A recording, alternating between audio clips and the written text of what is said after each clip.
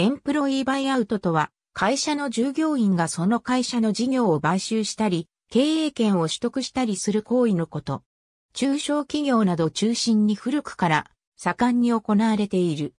日本では村上ファンドが松坂屋及び従業員に対し提案したとされ、マスコミなどに取り沙汰された。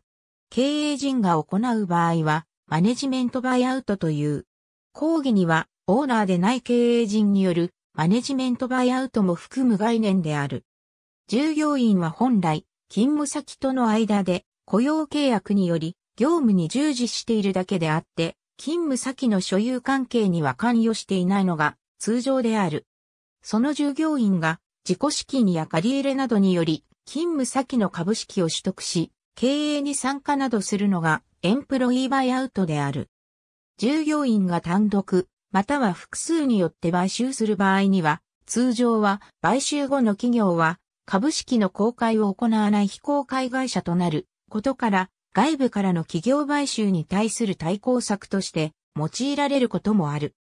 規模が大きく従業員の借り入れなどでは不十分な場合は第三者が出資参加するなどの方法も可能で、上場企業のマネジメントバイアウトなどの時には第三者の出資額が多い場合がほとんどである。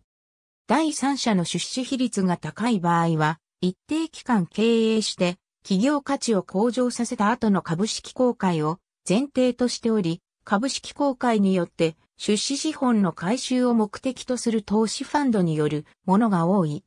同時に、エボを行った従業員にとっても向上させた企業価値に対するリターンを得る場ともなる。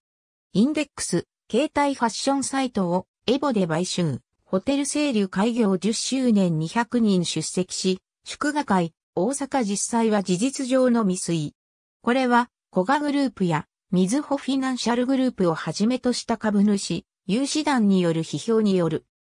クメ納豆製品の販売に向けた基本合意について金佐合食品株式会社重要発表。シックスアパートは EBO により再スタートを切りました。シックスアパート CMS ソフトウェアサービスを提供インクグローって会社知っていますか ?C&I ベンチャーリンクが MEBO 実施株式会社湘南ゼミナールによる MEBO 実施についてありがとうございます。